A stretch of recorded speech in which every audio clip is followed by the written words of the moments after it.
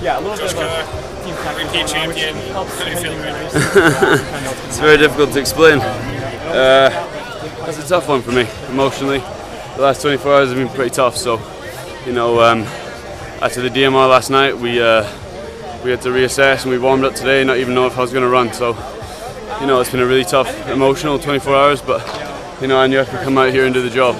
Why did you not think you might be able to run? Uh, like since the DMR, I've had some pr- stomach problems, but you know, uh, don't know what those were, but I had to uh, make sure they were at the back of my mind.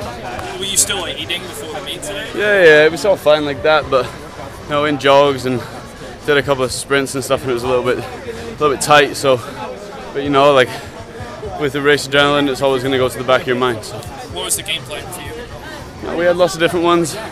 Um, one was we were hoping that Ole Miss Sean Tobin would go at the front, and but uh, you know, these Virginia Tech guys went out quite hard. So as soon as they slammed the brakes on, I saw an opportunity to go on the inside.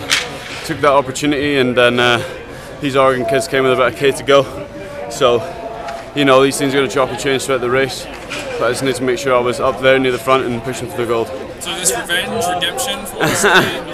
No, it's just just coming out and racing. So, you know, I need to make sure that every race is the same and coming out with the same effort in every race. So, you know, I've been pushing hard to, to peak for this one, and it, it did show off there, and it, I was ready. Yeah, I mean, I was watching you on the start line, and you had a very, you know, serious Mm-hmm. expression throughout. Is that, I mean, is that typical for you, or was this more, you know, serious than you? No, this is this is pretty serious. I needed to be 100% on my game plan today.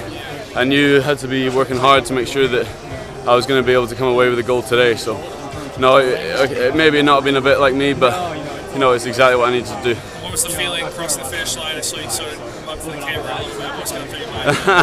just being an idiot, really. you know how it is, I get a bit carried away. But you that was a serious win for me, and uh, to after the last 24 hours to come out and do that, and I think I ran reasonably quick, so you know kept the race exciting for everyone to watch, and uh, made sure it was fun for me as well. Josh, uh, to, uh, to that point, we know, we know what your speed is. And we know, you showed at Mil- at Millrose that you can Yeah. with anybody in the world. Today seemed more about kind of will, kind Yeah. of, kind of deter- determination. Like, Yeah. I'm going to show how damn tough I can be. Yeah, exactly, and uh, that's what I've been trying to show is after these don't know, four-minute miles of altitude or DMR splits quite quick. You know, I'm ready to go again. You know, I've been working hard to make sure that 255 is not my peak, and I can show that I can run 55, stand up, look at the camera, and have a little have a little growl at it. Were your legs feeling tired all from the races? no, was it mainly just the that was the hardest part on what I tried to get across. Especially I spoke to the committee guy yesterday, and I was like, look, it wasn't my legs that was the issue. It was it was my stomach. So, you know, I let, I let my DMR boys down yesterday, and I needed to make sure that I uh, came out and fought today. Was this the, Uh, I think I just ate a bit too late. I don't think it was what I ate. I don't remember what I ate now, but you know, I think I should have come after the race, ate, home, jog, but I did it the other way around. Back, home, jog, eight. So, you know, that's just a rookie error and that's my mistake, so we're going to have to move forward with it. was this the toughest for you, three NCAA titles? Um, I wouldn't say toughest. I think first time having pressure on me come outdoor, that was a tough one for me as well. You know, first time handling that kind of spotlight was difficult.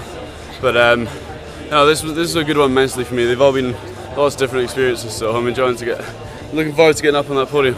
But do you know, I know Chris O'Hare was sort of all banged up and uh, Yeah. all indoors. Do you think it would be possible if he, like, maybe scratched from Commonwealth that you'd be able to run that? Um, n- there's a couple of people that have scratched from Commonwealth, so if I was going to get a spot, I probably wouldn't say yes if I'm being perfectly honest, just because we're in a plan now with class and with races and um, looking forward into the future. I can't take a three, four week journey over to over to the Gold Coast right now. So Yeah. Congratulations. thank you.